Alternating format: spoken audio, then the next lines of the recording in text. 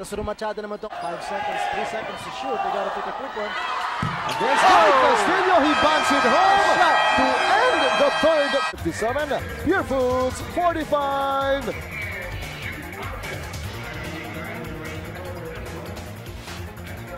Need to get some good defensive stops.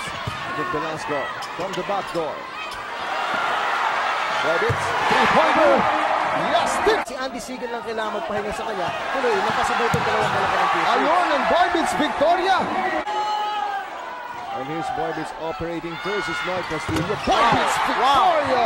Kanina, napapabala nila sa tatlo ang kalamangan dito ng San Miguel. Pero Boybits Victoria bailing them out, keeping them at bay with timely hits like that. At uh, now, it's a 9-point lead. Makita nyo,